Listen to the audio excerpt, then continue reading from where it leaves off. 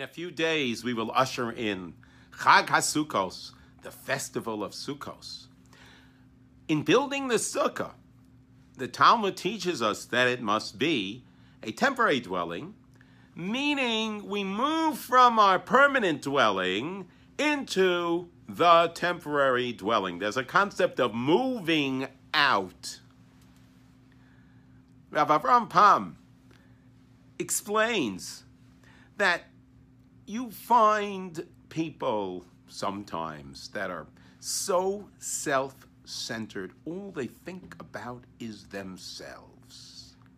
They're in their own world, they're in their own permanent, structured dwelling. No room for anyone else.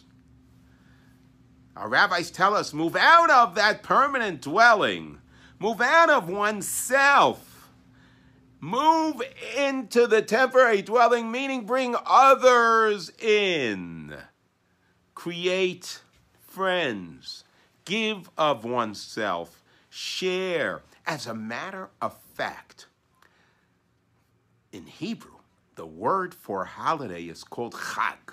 Chag HaSukkos. Chag. The great Rabbi Samson Raphael Hirsch explains that the word Chag is connected to the word Chug, which means a circle. Bring others in, share, give, help, acknowledge, make someone feel good. That is a fabulous message and something very vital for us to integrate as we celebrate this festival of joy. So, as we move out of our permanent dwelling, our own selves, our own minds, let's make room. Celebrate the holiday of Sukkot. Move, make a move. And move into the Sukkah and share, give, help, generate love and compassion. Wishing you all a joyous Sukkot festival.